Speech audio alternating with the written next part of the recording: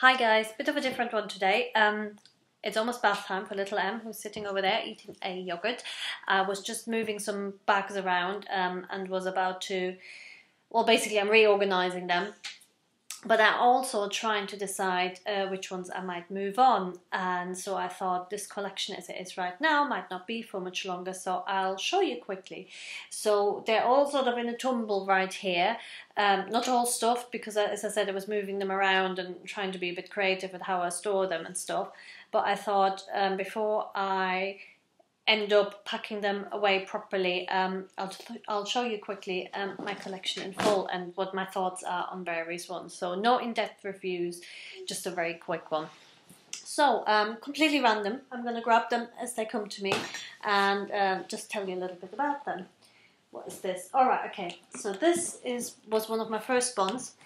Um, um, it's probably the nicest smelling mulberry I have. It's a Bayswater, um, normal size Bayswater in uh, printed uh, natural veg tan or NVT, printed NVT, or you can also call it PVT in oak. Um, those of you who've seen my um, bags, my mulberry bags, know I like oak. It's just a, a, lovely tone. I love how it ages. I love how it patinas. Um, and this is a gorgeous bag. Not used her an awful lot at all. I think I used her for like a couple of interviews. Um, and whilst I love the look, um, I always found I, I, I, always thought that I'm not sure whether Bayswater works for me. It's just really cumbersome and, um, and feels really, yeah, I don't know, just not very practical with the reasonably short straps there and everything. So but I've recently bought some Bayswaters which are softer and I found them much easier to use. So I'm thinking it's a combination of the size, the length of the straps, and the fact that she's really quite structured.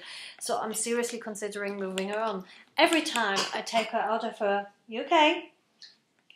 Every time I take her out of her dust bag and I smell her and I think, oh no, no, no, I couldn't possibly let her go. So um, she's still here um, and I'm still pondering on it, but she may well go. I'm not sure.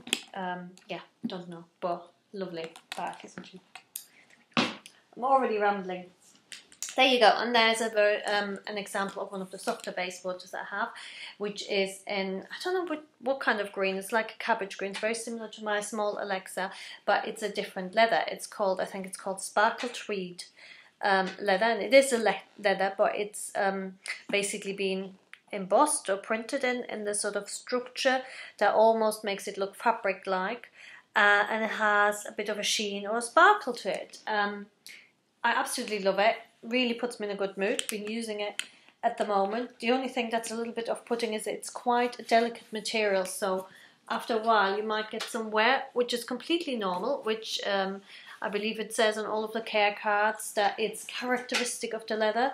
Um, but yeah, so I guess it depends on whether that bothers you or not. It doesn't really bother me. It's just one of those things. If you buy it like as an investment piece and you want to move it on, it's um, you know it might not be as easy to do so as one of the more classic leathers. But this one I've been using, and this one um, works absolutely fine, even on the pack train, because it's really soft and it kind of just like smooches against me, works really well. So there you go. I thought Bayswaters wouldn't work for me. Yes, they do my, I think, cabbage green sparkle tweed leather Bayswater. What's next? What have we got in here? Completely random order. Um, oh, this is another Bayswater. Um, this is a Bayswater in oak NVT. So um, same. Just pop it on the side. Just put it there. He's just finished his yogurt. Just put it next to you on the sofa. Or you can put it there and get your sweeties if you're nice and quiet. Sorry. Just pick it up, I'll sort it out later. That's fine. I will sort it out in a bit. Thank you very much. Apologies. Um, this is a Bayswater as well, and it's um, natural veg tan in oak, but it's not printed. So much softer, yeah, doesn't have that big boxy, so essentially it's the same leather, but this leather has been embossed. And because of that process, it's a lot more structured. I don't think they do anything else to it. I can't say it looks any thicker or anything. It must really just be, oops, the fact that they print this one, which gives it more structure, makes it more um, um, hardy and, and, and, and structured. I'm trying to think of a different word for structured, but I can't think of it. Thinking of German words, so there. Where we go next? okay, this is the last one of my Bayswaters, I promise. Now, I had the printed Bayswater for years and years and years now, so uh, it just doesn't work for me. Uh, although I, I love her, um, and this one basically cropped up. This one was the one I had before the green and before the other oak, and uh, this one was the one that was the revelation that made me realize. Hang on a second, if it's a soft leather, then it does work. Um, and I started using her, and I straight away loved her. So this is a, I think it's a crinkle or wrinkle crinkle patent in black, which kind of makes it look a little bit rock and roll. I've got a colleague who absolutely um, loves this and has been begging me to give it to her. but um, yeah, it's just different, isn't it? So um, she does wear after a while, and it basically turns into like a suede kind of thing. That crinkle stuff just comes off, but I really rather like that um, sort of lived in, slightly rock and roll feel. There we go. Last of the Bayswaters, I promise. Let's pop this one. So not in chronological order at all because this one is my latest acquisition. Um, after years of thinking I can't do open totes, I've been looking at the maple for rather a while and um, really liked the look of it. And then um, I was using a really cheap open top, which was very similar to that. Sort of two handles at the top, shorter and stiffer than that, and one strap that goes across with this one has two. And I really enjoyed it, and I was so surprised that it didn't bother me that it's an open bag and all of that. And um, basically, this one went into the sale, and I sold another couple of my bags, and I thought I'll just go for it. Um, and I was using her up until for a few days last week. Absolutely loved it. Basically works really well for me. So, but I will do a full review soon. The only reason why I moved out of her is because I'm trying to decide which ones to move on. So I'm just trying to use them all and then decide essentially. But this is the maple in I think it's called burgundy with um, like a purple pouch in the front, but I think the original, the the official color is called burgundy. I'll pop it over there. What have we got? Green. Um, the one that probably stands out in all of my pictures is my little cabbage green Alexa, um, mini Alexa, because um, she stayed when lots of other bags have come and gone, and she stays because I always use her when I go to Germany on holiday. Because she, I just literally I take. She's not stuffed when I store her. She's so soft and smudgy. She just sits on top of everything. She's really light, um, she's been quite worn, um, already was when I bought her, so I don't think I would get that much money for her. But more importantly, I do use her an awful lot. She's such a good size for when I'm on holiday and I'm just nipping out and I don't have to carry around any kiddie stuff. There's just like purse, phone, tissues, keys, that kind of thing. Perfect, love her. Um, some space. Oh, there's a few stuck inside each other when I was moving things around. I was trying to save some space. So let's let's go from the inside out. Kind of like the Russian dolls. Right. On the very inside we have hmm. and now you will see probably a lot of oak appearing. We've got my little, not little actually, it's a regular lily. See, and that one is properly stuffed. It has a Love Lolo um, Pilo in there, so she's nicely stuffed. Um, my regular lily, unfortunately, um, don't use her that often because I find her a little bit small for everyday use. But um, sort of for going out or um, even for scenarios like what I just described for here, would be really good bag. It's just that my purse tends to be quite fat, so the, the mini Alexa can accommodate that just a little bit easier than she does. But what I love is you can wear like sort of a, a classic shoulder bag and then you can I'm short enough to wear her crossbody, just about. Um, and just really classic, printed oak, um, NVT, lovely, isn't it? Over there, where was she in? She was inside my mini Bayswater or Ledbury and there's a strap in there which you wouldn't normally have with a Ledbury. This is a strap from an Alexa um, and that's why it's nice matchy. It's printed um, oak as well, printed NVT and this is the famous Ledbury that I converted. Sorry, I should actually show it to you, shouldn't I? Um, which I attached the um, hooks too, or eye eyelets, whatever these things do. Clamps, clamps, they're clamps. You basically just put them over and you, you squeeze. So have a look at my blog if you want to, my blog post if you want to see how I did that. Very straightforward and they're quite cheap. They're about two quid or something. Um, and that way, essentially, you can turn a Ledbury into a small Bayswater satchel, which uh, is brilliant. Haven't used it for an awful long time um, because I've just gotten used to using slightly bigger bags, but definitely one I need to use um, in the next couple of weeks and decide what I'm going to do.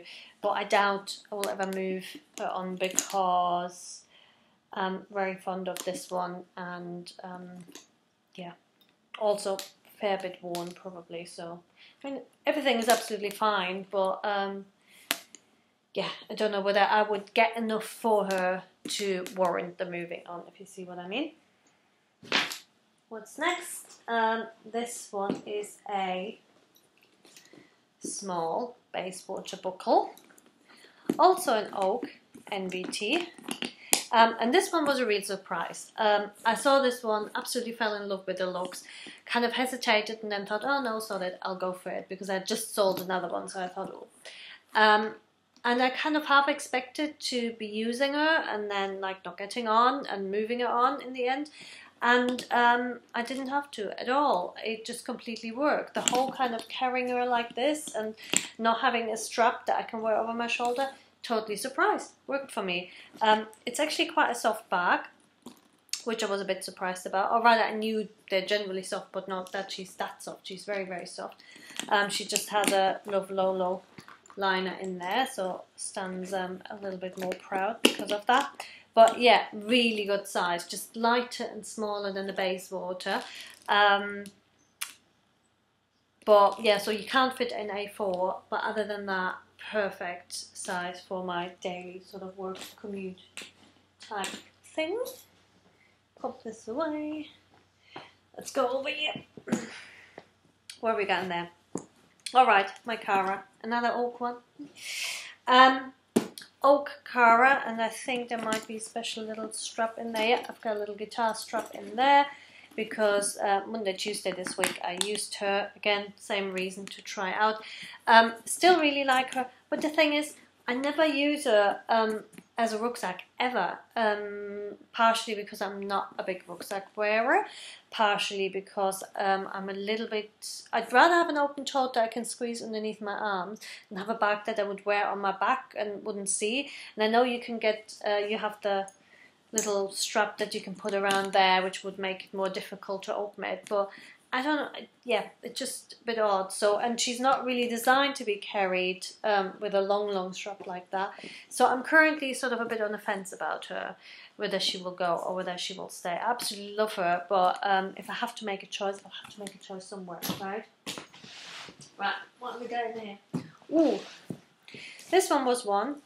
Bought her last year in the winter sale, so January 2016, and then she was sat in the wardrobe forever because sort of winter went, and then she felt rather wintry in terms of you know dark leather and all of that. Um, and then I kind of thought, oh, I'm not sure I'm going to use her. Should I better sell her?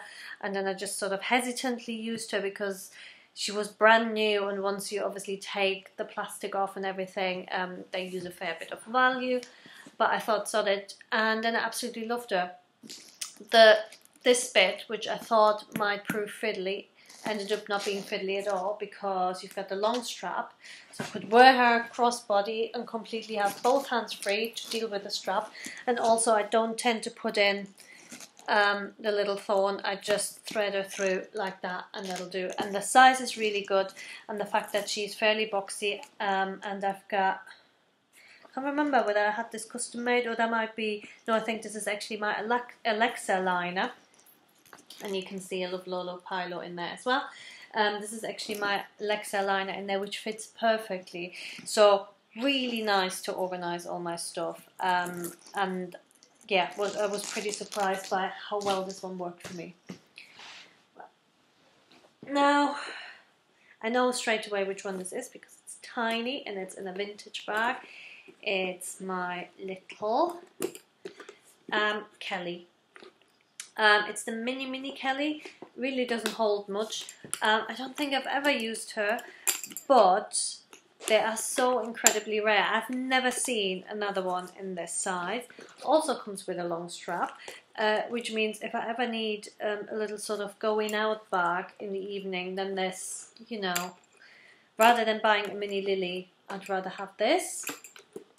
Um, yeah, I, I don't think I could ever replace her if I moved her on and therefore I think she's going to have to stay put. But how I mean, how cute is this bag? Yeah, completely imp not impractical, but well, unless you carry about, you know, a purse of this size or whatever. But it's not really an everyday bag, is it? But so cute and pretty.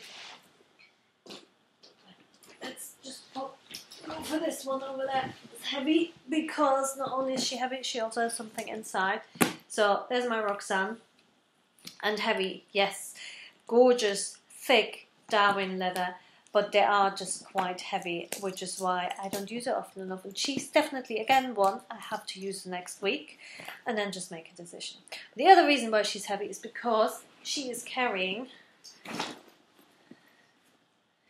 something inside, probably, um, which is my Rosemary, which is basically uh, a very, very similar bag or the same design and just a size down.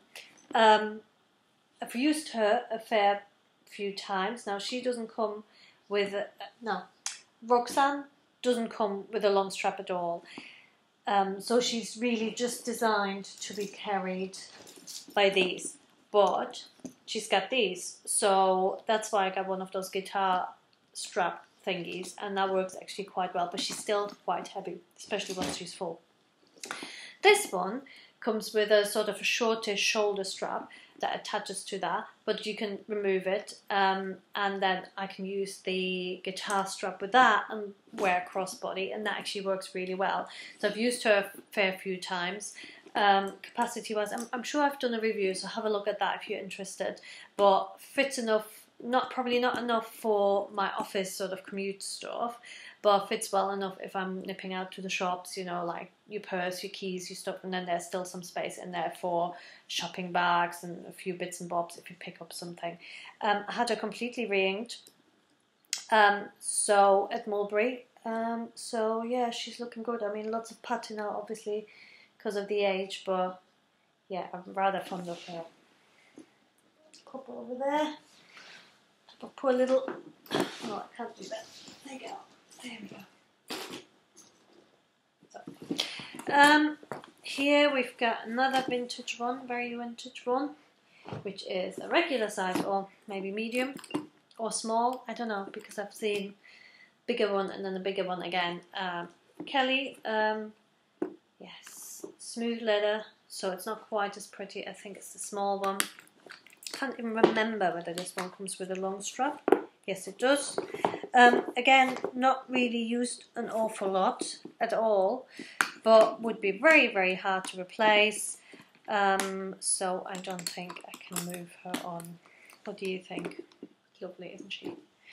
It's very ladylike, so I, I don't really do overly ladylike, but I'm thinking yeah, but you know, one day I will be maybe doing more ladylike, and then I can't get her back, so I think she'll have to stay. Pop her back up there. Almost done. We're almost done. You almost got it. Only 20 minutes into this. Jeez. Right. Ooh. Almost forgot about her. She came back recently from uh, like a half year visit at Mulberry because she's been completely repiped and I think they've done a brilliant job. The leather is completely matched. Honestly, you couldn't tell. Um, I haven't had the postman's lock replaced because no, the screensaver just came on because I know it's marked, but I don't mind that. She's, you know, she was my first um, full price, bought her at the shop um, Mulberry um, from a bonus that I received back then, and it was a big deal going in there and forking out that much money for a bag, even though back then they were obviously a lot less than they are now. But um, yeah, I, I remember debating forever whether I should get her or not, and then buying her and yeah, so and I love her, and she's really practical, and the leather just aged beautiful. The only thing was that one of the piping had gone, so I had them both replaced. I think it was like eighty-five pound plus VAT. Um, and the sales assistant in Manchester Spinningfields really cute. She was like, "It's my favourite repair." I thought that's really nice. Favourite repair. I might pop it over there. And think we're through. This should be the last one. This is my mini Cara in Oxblood. Um, NVT, love NVT, and I've never had an Oxblood bag until this one. Look at this. It's gorgeous. This is just like, yeah, the, the, the most gorgeous all year round tone. Not used her yet. Shh. Um, can't see her moving on. Even if I if I was talking about not being a big backpack fan, this little sort of bag warm cross cross body I think um, yeah, just will work really, really well. Such a good size, kind of a bit bigger than the um, mini Alexa, or rather in, in terms of what it can hold. These are surprisingly roomy, so this one will hold more. Um, maybe similar to a Ledbury. I can't remember. I haven't packed her properly for a while. Um, I did when I when I got her just to check out, um, but I haven't done a review on this. I did one on a quilted blue one. So if you're interested to see, you can watch that. Anyway, I know there was lots of rambling, um, but that's it. That's all my bags. Am I justifying uh, keeping them all? Probably, um, but I, I, I will have to move one or two on because, yeah, it's just getting a little bit silly, isn't it? So, right, can I just show you? There they all are. It's way too dark for you to see. Okay, so on that note, um, I have to thank little one over there for being so nice and quiet. But you, thank you for watching and hope you found this interesting. Bye bye.